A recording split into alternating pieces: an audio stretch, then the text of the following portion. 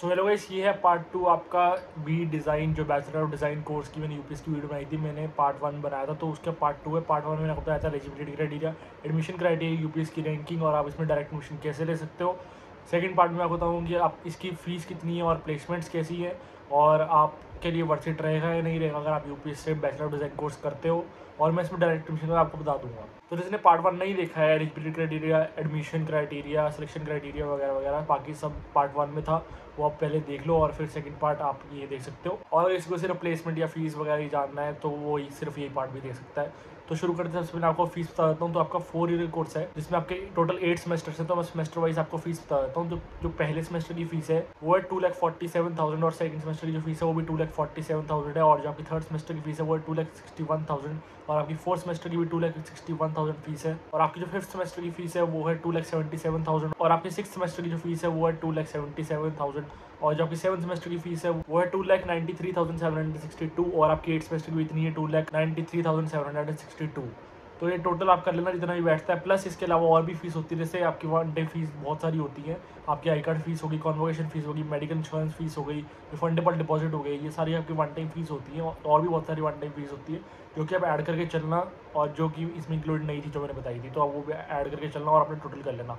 और अगर आप देहरादून से नहीं हो तो हॉस्टल फ़ीस वगैरह भी इंक्लूड कर लेना, वो भी आप ऐड करके चलना और टोटल अपना कर लेना। उसके बाद अगर मैं बात करूँ प्लेसमेंट्स की तो जो आपकी हाईएस्ट प्लेसमेंट लास्ट गई थी, वो थी fifteen point one seven L P जो कि आपको बहुत अच्छा पैकेज देखने को मिल रहा है। और अगर मैं बात करूँ आपके एवरेज पैकेज की तो वो था six point five L P का। वो भी आपको एक अच्छा पैकेज देखने को मिल ही रहा है। क्योंकि अगर देखा जाए एवरेज अगर आपका पैकेज लग रहा है तो उसके बेसिस लग रहा है कि आपका स्कोर कितना था अकेडमिक्स में आपके, और आपने कितना पार्टिसिपेट करा एक्स्ट्रा कैलकुलेटर में, और आपका जो इंटरव्यू था वो कैसा गया। तो अगर आपका सब कुछ एवरेज ही था, और फिर भी आपको सिक्स पॉइंट फाइव एल की जॉब मिल रही है तो एक ठीक पैकेज देखने को मिल रहा है। लेकिन अगर हम फ़ीस कंपेयर करें इससे कि आपकी फ़ीस कितनी, और फिर आपका एवरेज पैकेज लग रहा है तो मेरे अकॉर्डिंग थोड़ा लो पैकेज माना जाएगा फिर वो। और अगर हम बात करें हाईएस्ट की तो ऑब्वियसली अच्छा पैकेज देखने को मिल रहा है। अगर आप ग्रेजुएशन करके आपको इतने का पैकेज मिल रहा है तो ऑब्वियसली बहुत अच्छा पैकेज मिल रहा है आपको देखने को। फ़ीस के अकॉर्डिंग अगर हम देखें तो भी आपका एक अच्छा पैकेज ये माना जाएगा। तो हाईएस्ट पैकेज ऐसा लगता है कि अगर आपके स्कोर भी अच्छा है अकेडमिक्स में प्लस आपने एक्स्ट्रा करिकुलर पार्टिसिपेट भी करा एक्टिविटीज़ में। और आपका जो इंटरव्यू वो भी बहुत अच्छा गया आपने कॉन्फिडेंट होकर इंटरव्यू दिया। बाकी जो आपके चार साल निकले वो भी काफ़ी अच्छे निकले आपने बहुत कुछ एक्सपीरियंस लिया है। तो ये आपका जो है हाईएस्ट पैकेज वैसा इसके अराउंड लगता है।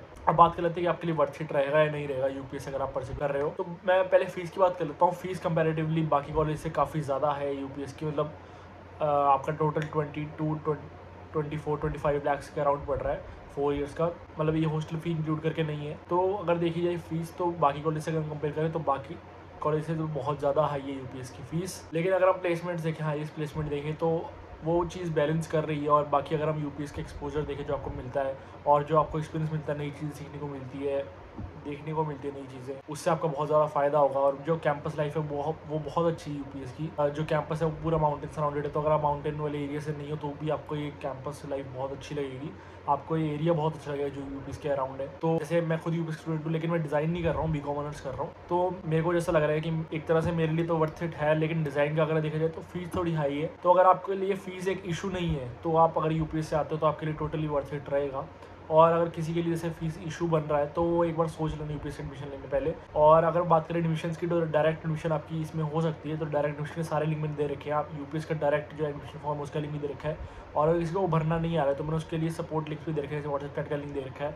और व्हाट्सएप चैट वाले नंबर पर आप कॉल भी कर सकते हो, या फिर मैंने गूगल फॉर्म वाले भी दे रखे अगर आप फिल करोगे तो यूपीएस की थोड़ी देर कनेक्ट कर लेगी और प्रॉपरली पूरा प्रोसेस समझा देगी। तो जिसको इसका एडमिशन चाहिए, वो डिस्क्रिप्शन में लिंक चेकआउट कर सकता है। और जिसने एडमिशन लेनी है, वो ले सकता है। प्लस एक बार आप सोच लेना एडमिशन लेने से पहले, अगर आपके लिए फ़ीस इशू नहीं तो आप ले सकते हो। और इंटरनेट पर और भी बाकी वीडियोस देख लेना और गूगल पे भी रिसर्च वगैरह कर लेना और तभी एडमिशन लेना यूपीएस में।